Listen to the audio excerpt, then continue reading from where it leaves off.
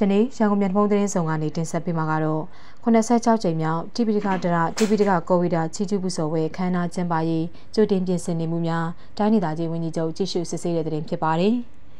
ရန်ကုန်တိုင်းဒေသကြီးမယန်းကုန်းမြို့နယ်တီရီမင်္ဂလာကဘာအေးကုန်းမြေမဟာပါတာနာလှိုင်ကူတိန်တော်ကြီးမှာ86ကြိမ်မြောက်တီပီတကဒရာတီပီတကကိုဝီဒချီကျူးပူဇော်ပွဲအခမ်းအနားနဲ့အောင်လက်မဲ့ဆက်ကပ်ပွဲမဟာမင်္ဂလာအခမ်းအနားကြိုတင်ပြင်ဆင်နေမှုများအားမေလ10ရက်မွန်လယ်ပိုင်းကရန်ကုန်တိုင်းဒေသကြီးအစိုးရအဖွဲ့ဝင်ကြီးချုပ်ဦးစိုးသိန်းနဲ့တိုင်းဒေသကြီးအစိုးရအဖွဲ့ဝင်ဝင်ကြီးများကတွားရောက်ကြည့်ရှုစစ်ဆေးကြောင်းသိရပါဗျ။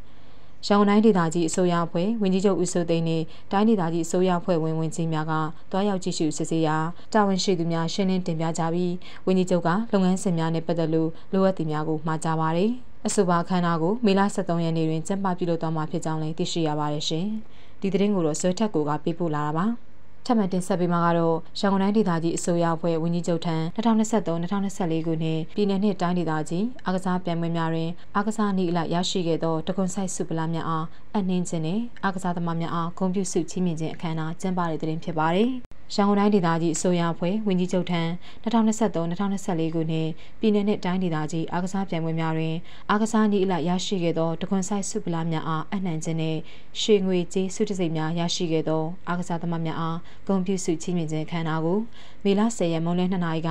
ရန်ကုန်တိုင်းဒေသကြီးအစိုးရအဖွဲ့ရုံးမင်္ဂလာခမ်းမမှာကျင်းပကြောင်းသိရပါသည်။ ဦးစွာရန်ကုန်တိုင်းဒေသကြီးအားကစားနှင့်ကာယပညာကော်မတီနာယကရန်ကုန်တိုင်းဒေသကြီးအစိုးရအဖွဲ့ဝန်ကြီးချုပ်ဦးစိုးသိန်းကဂုဏ်ပြုမှာစကားပြောကြားရာတွင်ကျင်းပပြီးစီးခဲ့တဲ့2023-2024ဘဏ္ဍာနှစ်ပြည်내နှစ်တိုင်းဒေသကြီးအားကစားပြိုင်ပွဲများမှာရွှေ56ခုငွေ56ခုကြေး52ခုနဲ့ အမျိုးသားအမျိုးသမီးအသင်းလိုက်ပြိုင်ပွဲများတွင်တကွန်ဆိုင်တိုင်းစုကြီးများရရှိခဲ့ကြတဲ့အဖွဲ့များရွှေငွေကျေးစုတစိမ့်များရရှိခဲ့ကြသောပြိုင်ပွဲများမှာအားကစားမောင်မင်းများနဲ့89နှစ်မြောက်ပြည်တော်စုနှစ်အထိမ်းအမှတ်ပြည်내နဲ့တိုင်းဒေသကြီးမြင်းစီအားကစားပြိုင်ပွဲတွင်ရွှေ၈ခုငွေ၄ခုနဲ့ကျေး၃ခုရရှိခဲ့တဲ့မြင်းစီအားကစားအဖွဲ့များကိုရန်ကုန်တိုင်းဒေသကြီးအစိုးရအဖွဲ့အနေဖြင့်ဂုဏ်ပြုတဲ့အခမ်းအနားဖြစ်ပြီးဂုဏ်ပြုထိုက်သူကိုဂုဏ်ပြုခြင်းဟာမင်္ဂလာတစ်ပါးဖြစ်တာကြောင့်ယခုလိုဂုဏ်ပြုရခြင်းဖြစ်ကြောင်းပြောကြားပါရယ်။ အဲဒီနောက်ရန်ကုန်တိုင်းဒေသကြီးအားကစားနှင့်ကာယပညာကော်မတီဥက္ကဋ္ဌတိုင်းဒေသကြီးအစိုးရအဖွဲ့လူမှုရေးရာဝန်ကြီးမှ2023-2024ဘဏ္ဍာနှစ်အားကစားပြိုင်ပွဲများတွင်ပါဝင်ရှင်ပြိုင်ခဲ့မှုအခြေအနေများအားတင်ပြပြီး2023-2024ဘဏ္ဍာနှစ်တွင်ရန်ကုန်တိုင်းဒေသကြီးရဲ့အားကစားပြိုင်ပွဲများမှာပါဝင်ရှင်ပြိုင်မှုမှတ်တမ်းဗီဒီယိုကလစ်အားပြသပါရယ်။